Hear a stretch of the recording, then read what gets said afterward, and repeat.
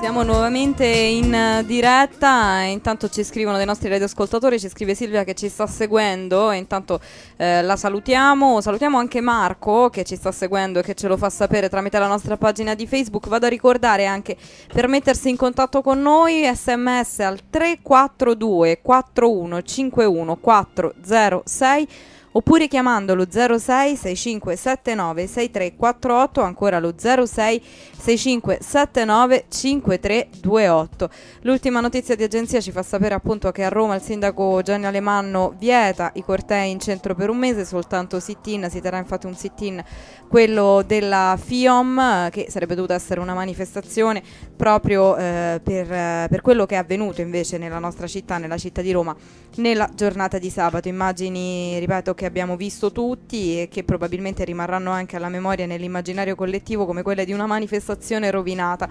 Ma eh, questa domanda la poniamo subito al premio Nobel, il professor Dario Fo. Buonasera. Buonasera, buonasera, buonasera. eccomi qua.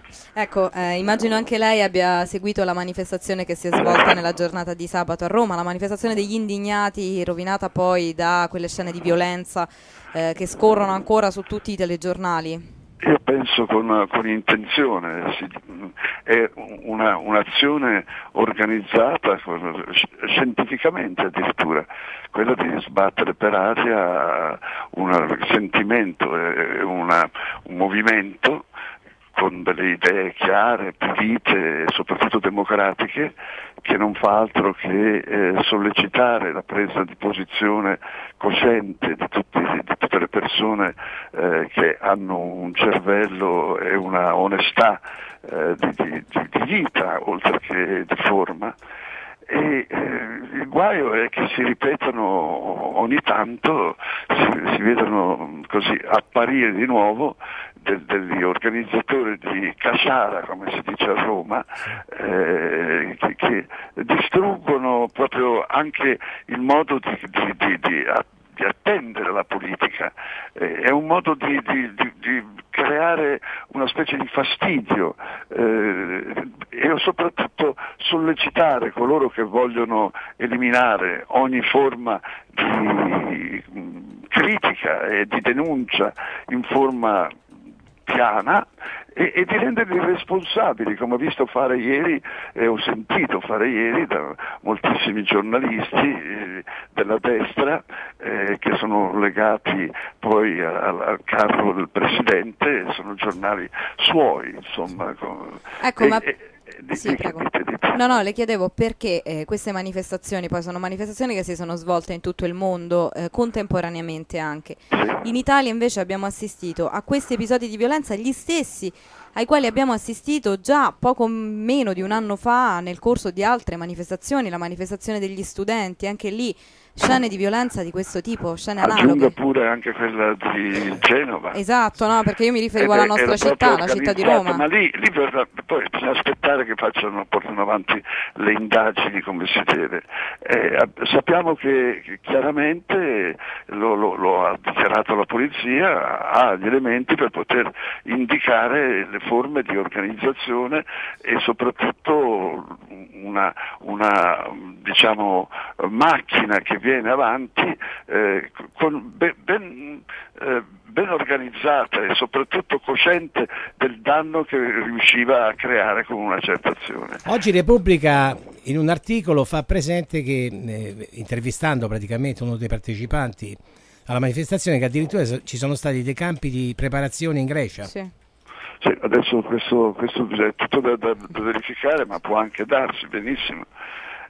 Ad ogni modo eh, è, è con, con, con decisione che bisogna bloccare e soprattutto sollecitare alla, a una presa di coscienza da parte di ognuno ed evitare che ehm, il pubblico così venga preso da una specie di tormentone e che lasci correre la, la, la propria partecipazione. Il disastro sarebbe eh, vedere gente che abbandona il campo perché dice no, non se ne può più, sono tutti uguali. Ecco.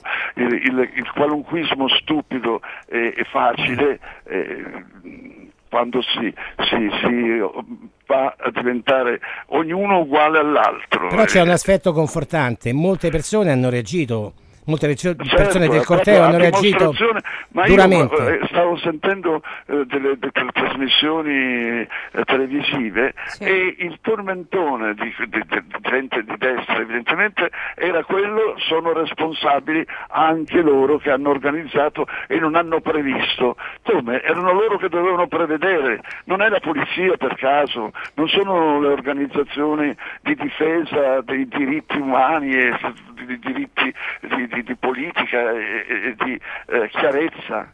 Ecco, l'altra notizia forse eh, alla quale si riferivano, professore, è che eh, Indymedia, un, uh, un portale, insomma, aveva pubblicato eh, nella mattinata di sabato un uh, articolo dal titolo Insurrezione il 15 ottobre e sembrava una vera e propria chiamata alle armi che invitava i manifestanti a una lotta senza quartiere contro eh, le forze appunto del capitalismo globale, quindi le banche, ma anche contro le forze dell'ordine. Questo è un comunicato che fa emergere, ha fatto emergere eh, appunto Indimedia e probabilmente a questo si riferiscono.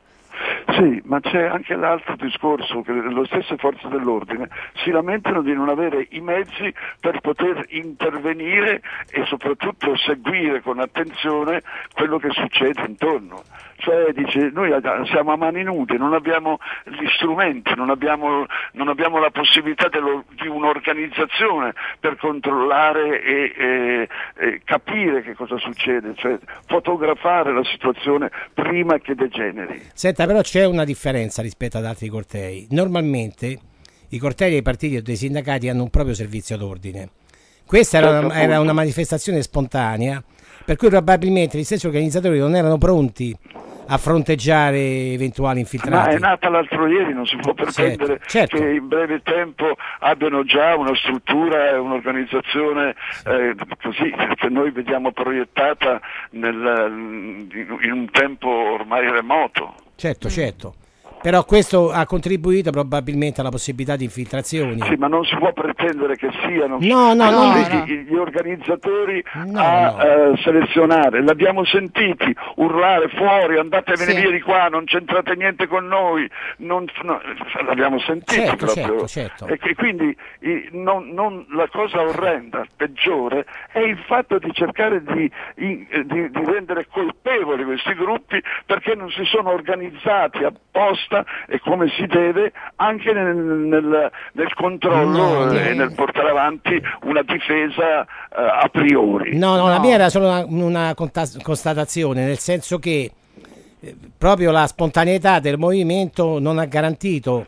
Sì, D'altra parte il servizio... No, non è una colpa, è un dato di fatto praticamente che ha contribuito purtroppo negativamente rispetto alla manifestazione. negativi, ne, ma la esatto. prima cosa, la, la cosa eh, eh, così che, che, che, che, molti hanno lamentato, democratici, è il fatto che eh, la polizia si è trovata impotente certo, eh, e, e, e, spiazzata davanti al muoversi di queste, certo. di queste orde. Insomma. E questo è un dato di fatto. Questo purtroppo è quello a cui abbiamo anche assistito visivamente con le immagini delle stesse camionette, della stessa camionetta dei carabinieri incendiata nel centro di Roma, scene alle quali non vorremmo mai più assistere, alle quali non avremmo nemmeno voluto assistere. L'abbiamo viste altre volte esatto. anche col morto. Certo, esatto. Certo e quindi ci auguriamo che questo non accada. Noi intanto passiamo anche a ringraziarla per la disponibilità che è sempre nei confronti della nostra emittente e della nostra trasmissione. Grazie, buonasera. Grazie, complimenti a voi. Grazie, grazie. grazie, grazie al premio Nobel, il professor Dario Fo.